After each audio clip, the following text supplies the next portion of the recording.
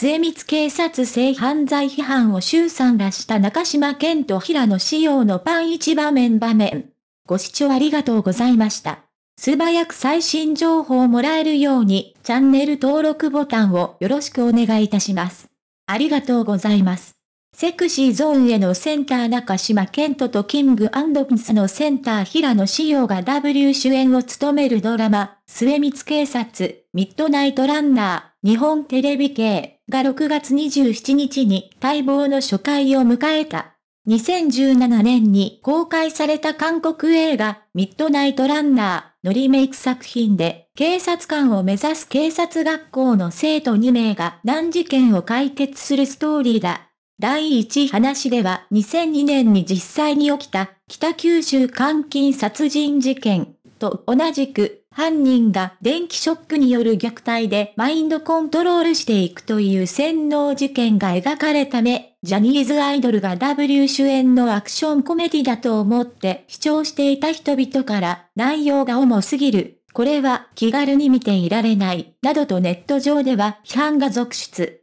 さらにこの犯罪を発見したきっかけが、中島演じる海と平野演じる二郎が暮らす警察学校の寮の部屋から、風呂上がりの人妻、牧陽子を双眼鏡で見ているうちに、その人妻が妙な行動をしていることに気づくというものだったため、覗きはれっきとした性犯罪、警察が舞台で性犯罪を容認するとは何事だ？原作映画にこんな不愉快なシーンはなかった、などといった批判の声が、ツイッター上には BPO に通報したという声まで上がり炎上状態となった。しかしその一方で中島と平野の顔面偏差値の高さを眼福と喜ぶ声や二人がパン一姿にさせられたとしか思えないシーンにも二人のいい体に見惚れた平野の中島より太いももに続々する木曜は B、G のキムタクと斎藤光。金曜は MIU404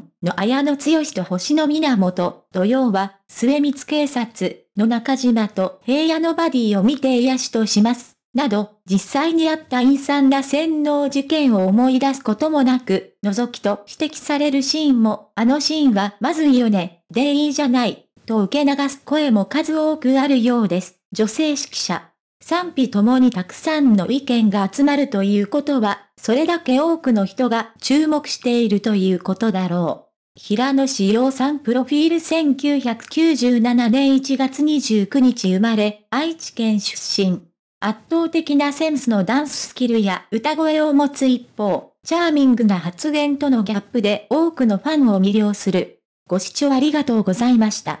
これからも一緒に応援していきましょうね。チャンネル登録をよろしくお願いいたします。